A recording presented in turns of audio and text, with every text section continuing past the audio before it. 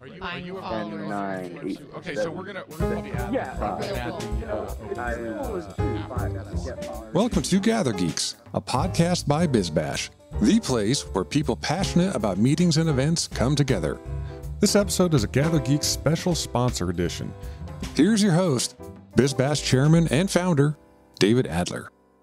Welcome to another special edition of Gather Geeks by BizBash. Our topic today is a better video conferencing platform called BlueJeans by Verizon, the video webinar service that is specifically designed with event organizers of all types in mind.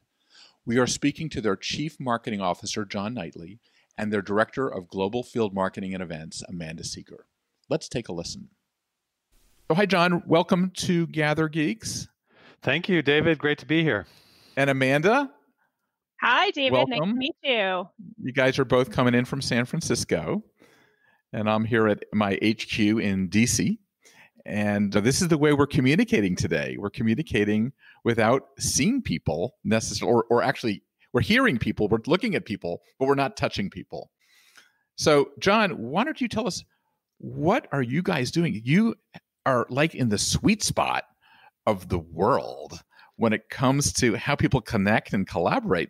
David, it's been a wild time, right? As we've all uh, been changing how we work and changing how we our kids go to school and changing how we even socialize. We were there to be able to help people over video conferencing, right? So BlueJeans has been around for a while. We've been really at this whole video conferencing game and also really helping people deliver great virtual events and webinars. So it's been there's been a huge surge in our business and lots of opportunities to help people do all kinds of things that we never thought the technology could do.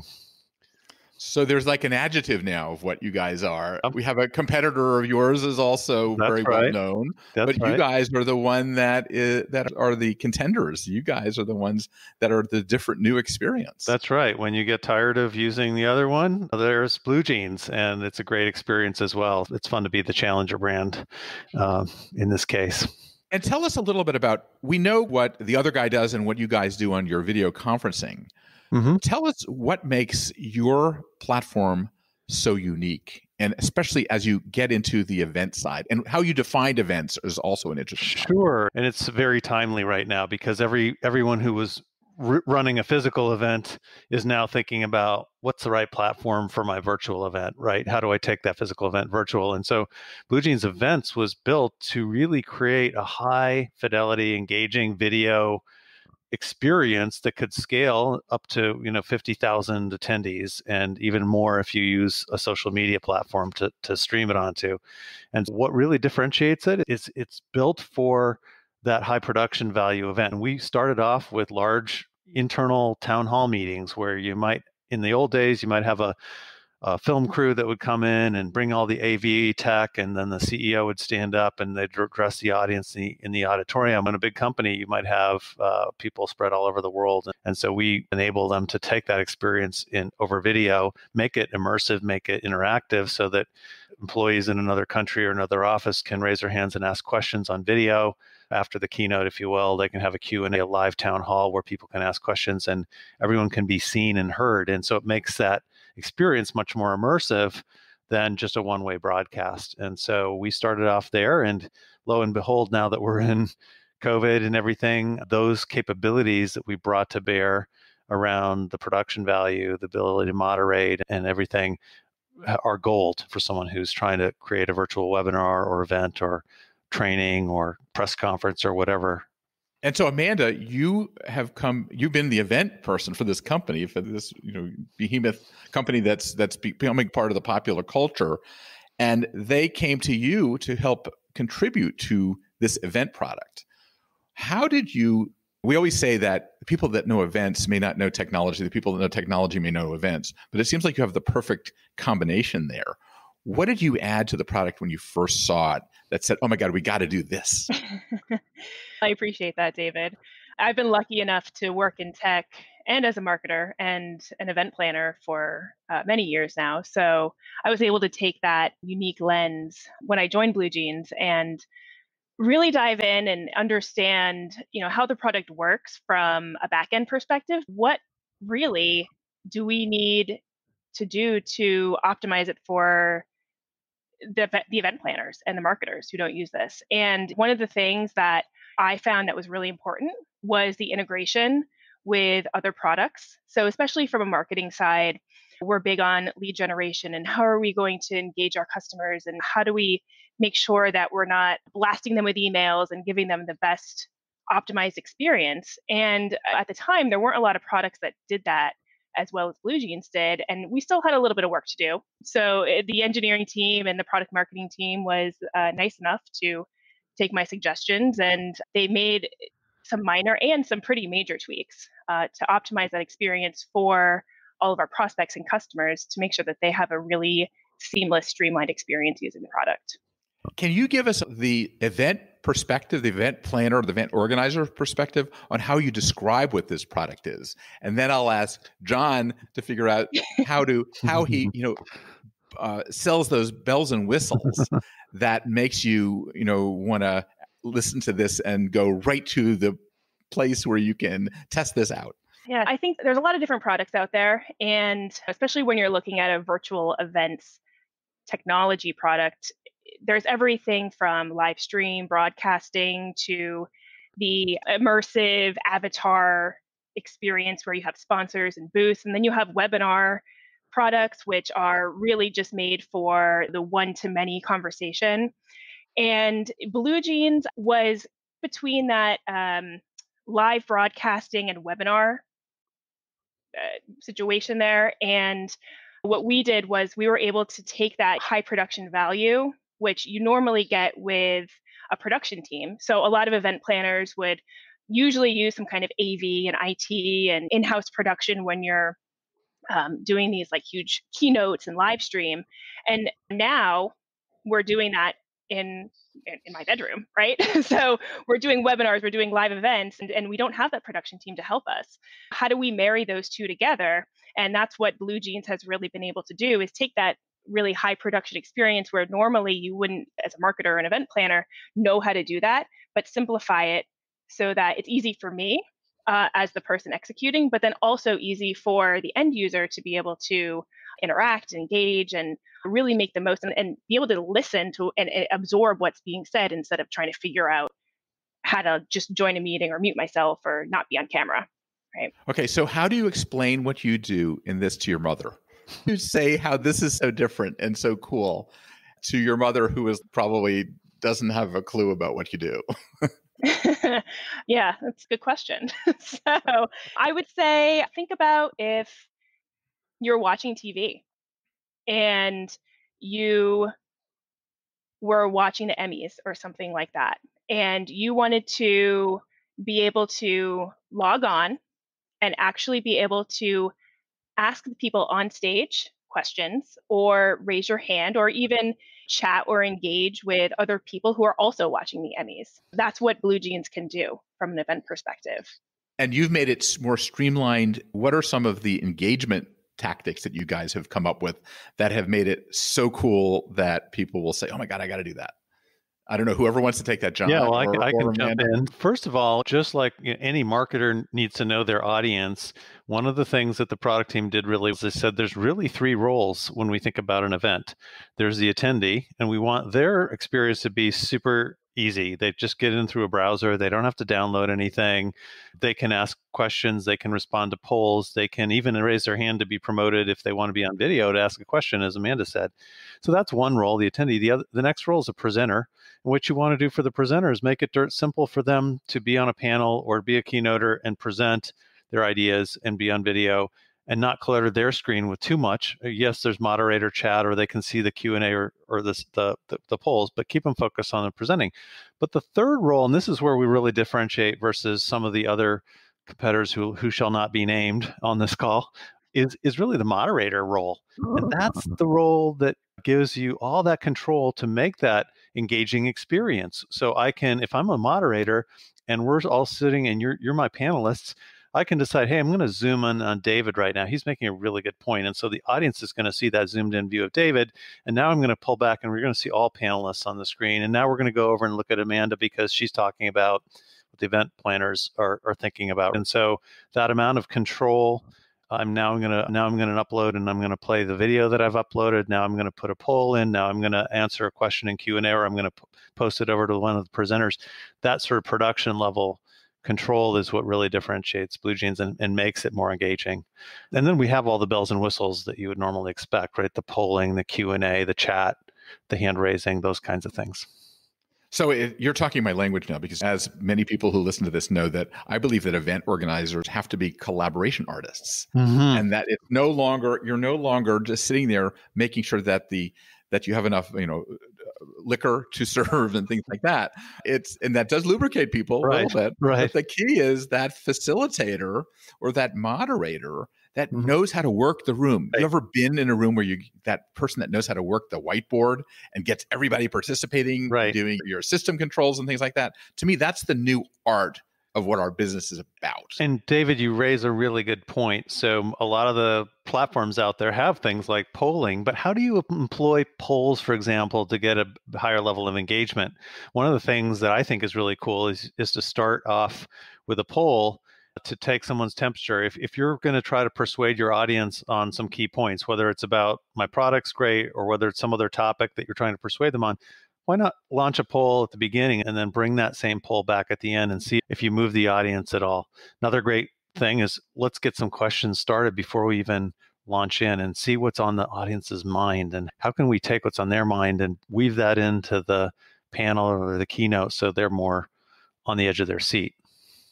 Amanda, what do you think? How did these kind of techniques resonate with the event planning world that you're dealing with in terms of the product? Because you got both hats. You got the event side, the marketing side, and the product side. hmm Yeah, I think what's awesome about this product is that it allows you to utilize these features to really evoke emotion in people. And, and as a planner and as someone who's producing live events, I think that's one of the things that really drives me personally is having that emotional connection. And the technology is there to help you do that. So whether it's uploading a video, so something like a tear jerking commercial, which gets people uh, a little bit more open and, and vulnerable to asking everyone to put their video on and just show me what you're working with right now. And having a- live DJ, I was on an event that had that going, and, and it just was a nice break. They didn't ask anyone to dance, but there was all these different artistic forms to get people to engage and thinking outside the box or pose the hard questions and and um, ask people to engage in chat and have somebody, uh, like you said, creating and it, it, it is an art getting people to engage with you over That's- chat right Yeah. All of these bells and whistles and features allow you to take that live experience and make it virtual and in some cases you are engaging more than you ever would have in person because But it does take it, but it doesn't it does take that moderator. I think you're 100% you're empowering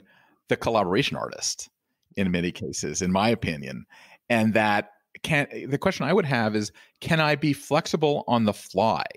Can I do something that says, "Oh my god, I got that I didn't plan on doing a poll, but I got to do a poll because I just thought of something really cool." Mhm. Is that doable yet? oh yeah Yeah. Yeah. Yeah. oh yeah ask a poll or take a poll and ask people is this resonating or do we need to shift the conversation And you can get sentiment basically. Mhm. Uh, what other and what other things do you have in the pipeline for engagement that that a, a moderator or a collaboration artist or an event organizer will get excited about? Because I think it's all aspirational too. Because we're still learning this medium. Sure, there's more and more we can do also with the visuals. For example, not just presenting a PowerPoint or whatever, but there's the weatherman view, right? I'm I have the PowerPoint behind me and I can point to things or what can happen across the lower third of the screen, for example. Maybe I'm talking, but there's interesting uh, engagement messages coming across the bottom uh, of the screen while we're asking, including maybe it's chat questions. What's the audience doing? How cool is that to be able to see what people what's on people's minds? So there's a lot of things we can do to bring that engagement or social. What what are people tweeting about while we're in the middle of the event?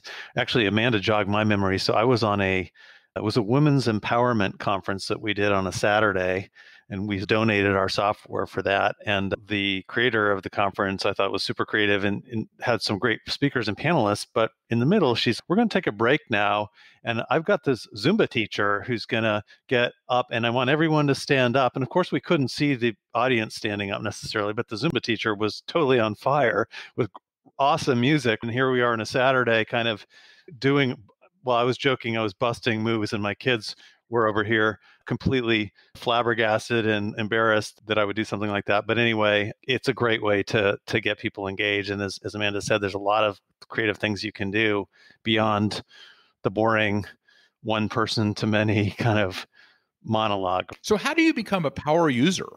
Uh, one thing that I'm excited, uh, you're making me think. I mean, I want to really know how to use that. How cool it is when you actually know how to use a software program mm-hmm. and and really get the most out of it yeah. how does that person who is that person that and how do you suggest they become a power user? Because it, it could enhance their career big time. You know what? You're hitting on another thing. So a uh, former summer intern that i worked with many years ago contacted me and he has a program to help kids in underprivileged parts of different cities learn about technology that they might be able to use in their careers. And to me this was the perfect one. Like it's you don't need a phd to learn it but you but there are skills that you can learn and if you learn this you have a marketable skill to take either create your own company and be a solo shop or go work for a big company where you're producing their town halls and their webinars and things like that. So i actually think it's a great entree into technology and, and communications and things like that. I don't know amanda what you have to say there's also the marketing side of it as well not just the production side.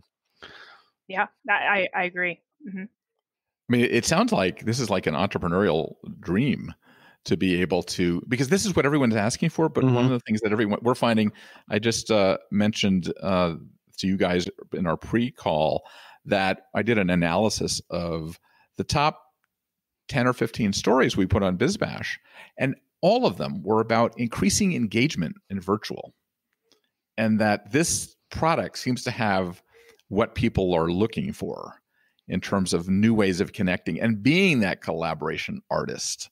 Mm-hmm. And I hope that term sticks with maybe you create a user group that teaches people how to do this because it really is important to know how to use all the bells and whistles. We know how to use a, a pen. right. You could be an incredible writer or you could be an awful writer. and we're in that moment in time too when everyone's or, a lot of us anyway are, are still working at home and but we're going to come out of this hopefully and we'll, we'll be able to be back in the physical world but the beauty of this kind of, of experience is that you can reach a much wider array of people all over the world and we think it's going to continue to be something people are just going to want to do and, and now's the time that people are learning it because they have to but it'll live on and so there's only more to to do and learn and i like your idea let's say that we want to have a 50,000 person mm-hmm. meeting. What does that look like? How do you make it so it's not crazy? What is the way you approach a meeting of 50,000 people? Mm-hmm. Just daunting, but you seems like you can do it theoretically or Absolutely. reality in mm-hmm. reality. But what does it look like from the moderator point of view? How does he be the orchestra leader for 50,000 people? Sure. I can jump jump in, or Amanda, yes. if you have some thoughts. Whoever wants to. I, I, can just give one example, and then maybe John, you can, mm-hmm. can chime in. We have a customer who is a retail shop, and they actually launched a new product line during COVID, and they did this all over video. And now that the product is ready to be launched, they're planning for a launch party. And how do you do that virtually? So one thought was we're working with them on on what this is going to look like, but perhaps it's an invite only exclusive discussion with the owners and the launch on Blue Jeans. So the moderators are technically the owners and they will facilitate the conversation with their influencers and um, partners and that kind of thing. But then there's integration with uh, Facebook Live, and they can stream this on their Facebook page as an advertisement and you can get up to that 50,000 person event and if they want to engage they can but really it's the exclusivity of the people on the Blue Jeans event itself um, that makes it really unique and interesting And if you don't want to engage, then you don't have to. You can just listen. So that would be one example uh, of something cool to marry the two together. And you, David, you have the control. If you're planning a 50,000 person event, you, you can decide how much risk do I want to take with that? Do I want to have attendees in view only mode? Do I want to let them have community chat open so everyone can see? do I want the Q&A to be open or does it go straight to the moderator? So you have the knobs and dials to determine how open or how controlled do I want the event to be. In some cases, hey, see, I, our CEO won't be on the call, so I'm going to make it open and I'll t- take those tough questions. Or hey, this is our let's let's say this is an investor relations conference. We don't want like weird chatter coming in from the audience, so we're going to turn those community features off and we're going to have it be fully moderated experience with no kind of visible audience chiming in there. So you have the all those dials that you can set depending on the level of interactivity and the level of openness you want to have in that event. And is it I guess there's not much difference between 10,000 people and 50,000 people ultimately. It's the scalability of the platform yeah, and a lot of the platforms yeah. won't scale to that level. One of the technical pieces that I'll just mention is when we are in offices, a, t- a typical streaming solution can suck up a lot of bandwidth on your corporate networks and so we have optimized for those networks so that it doesn't it, you don't have that network effect of hey the ceo is doing a town hall and the network isn't working for anybody else we've optimized for that experience so that you can have those big things. And the other is we also let you watch it not just on your browser or mobile, but also in a conference room system. So when you're back to the office, you can have teams, or if you're uh, broadcasting to a school, for example, all the classrooms could be seeing them in there together versus everyone having to look at it on a screen. And that also increases the interactivity of it because you can go to room and they can you can promote a room and they can be seen and then they can interact. We did that one time with sundance film festival where we had a group of students and there was a documentary about these high school students and they were on stage at sundance and then there was a class of students invited to interact with them. They were all in a com- conference room and they were able to see each other and, and, and ask questions of the people who were in the documentary. So you can do some all kinds that's, of creative immersive things with the that's the very very very yeah. interesting i wrote a piece in the beginning of covid called that uh, we i think that the future of events are going to be a hub and spoke method so that you'll be able to get thousands of people and they don't have to all go to San Francisco for a Dreamforce necessarily in right. one swoop, but you can have the same people around the world.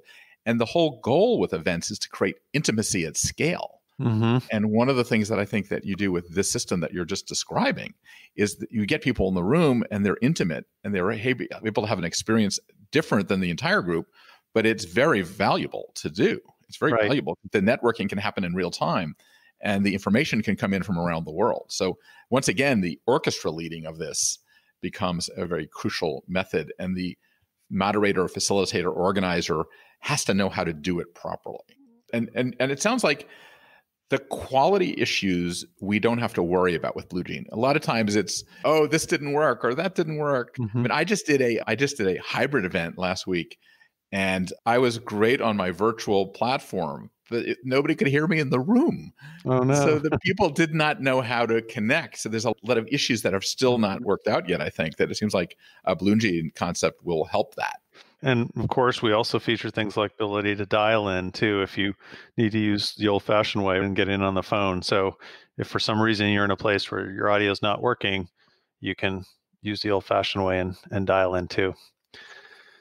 Let me throw out a couple of event types out at you, and you can give us sort of a way that you can use um, this. If you wanted to do like the world's largest brainstormer, can you do that? Do you do you envision that happening with this in a, in a simple way? We have a customer, and I can't mention their names, but they're in the, I guess I would call it toy business, or yeah, toy is probably the closest I can get to it. And they use the platform for these brainstorming type scenarios where they'll have different groups showing their latest creations to other groups and they go beyond that they go into things like let's do musicals let's have contests let's do other things so they really get into this creative vein of it's not a it's not a presentation it's a discussion and it's an engagement across different teams, sharing what they're creating, what they're working on, and then having some fun together to keep the spirit up, if you will. How about the data that you get in judging? Can other people judge what's on there in real time in some form, or is it a polling methodology? Right now, it's polling, but I, I could imagine you could use social or other things to to do that. Yeah, it seems like you know, this is we're still in the beginning of this. We are. This We're is- learning a lot. We're all learning a lot. How about how about the ultimate shopping experience? Have you been able to do assume that retailers you talked about ideas, Mhm. but can people buy online yet? Or will that come in these kind of systems? So you can mean like you have your personal shopper who's showing you things, and then you're picking what you want? you can, That- you can buy will you be able to buy via the, the a, a blue jean platform where somebody will have a meeting and they'll show you a product and everybody can say oh, i want that and they click the Hey, button and I- I'm writing down these ideas, David, because I've, I've got to. Don't tell anyone. Don't have anyone listen I to this won't podcast. I want to. I want to go monetize that idea. but it's what event people are thinking that's happening all the time Right. there's a lot of there's a lot of people that are using direct to consumer hmm events as a direct to consumer vehicle where people are buying it's no different than the shopping network when you think about it. But having people say is that a good product or not? would be also interesting. That's another use case. Mhm. uh, I, I would assume this the, the huge shareholder meeting is going to be able to be happening on this in some form that's a different way of facilitating Shareholders, or- I've- or, I've uh, been on virtual press conferences already on it. Another use case is hackathons, right? We Ah. have clients that are using it for hackathons. You can bring people no matter where they are, teams of coders together. You launch the challenge. They can keep their little their little video windows up if, as they're coding, if if you want, or you bring them back when they're ready, or, or whatever it is. That's really interesting. Who would have thunk? We had no idea that we have people using it for that, and then, and then all of a sudden they pop up, and that's really cool. is e-gaming happen on the, happening on these platforms now or is it where, where you're uh, gaming together as people and you're you have gaming yeah, or you're watching what's happening. I would assume that's happening. I would these- assume, but I don't Yeah. know for sure. Yep. Yep. So, Amanda, what are you hearing in terms of unique ways people are using the product? Yeah, John gave some great examples. I think festivals are another one. We just had a customer do a Juneteenth event, and going back to that live music and streaming for a couple hours, they were able to connect, I think it was 20,000 people across 23 countries using Blue Jeans. And, and again, it was that Facebook integration to help reach a larger audience, but the possibilities are endless. It's it's crazy. It's so exciting. I'm getting goosebumps just hearing about this because I'm a totally technology geek. and when you combine it with being a collaboration artist, to me, this is the crux of this.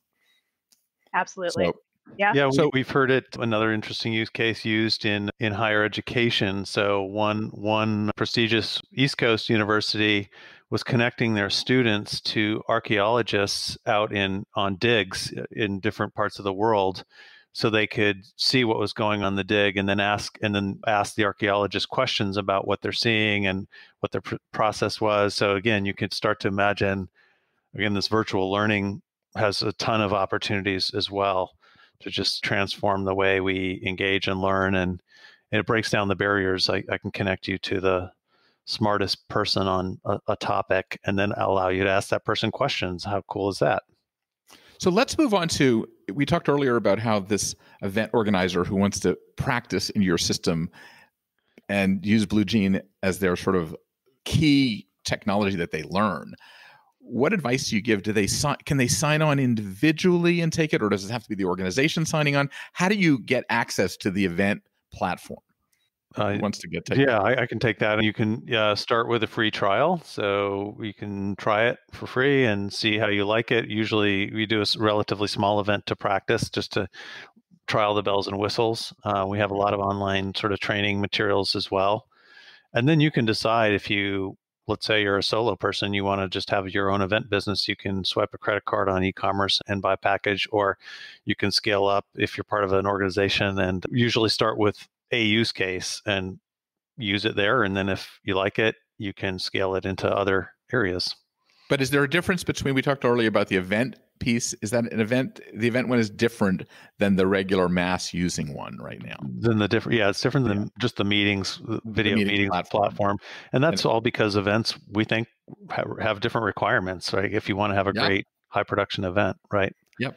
Uh, are you, do you have any? Is there anything in the pipeline about helping to manage the event itself from the pre-event and the invitation side and things like that? The normal registration pieces that you would have to integrate in. We do a lot there, and built- I'll, I'll let Amanda cover it because she Okay. she works with that piece.